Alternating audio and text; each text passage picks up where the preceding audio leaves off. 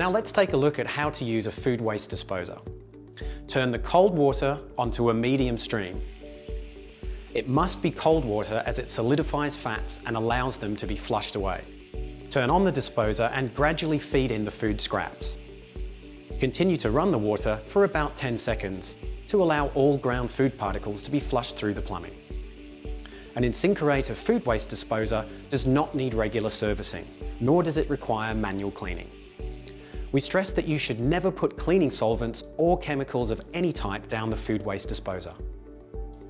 Some people choose to grind a handful of ice cubes to clean the grind chamber and periodically grinding some lemon wedges to keep the disposer smelling fresh.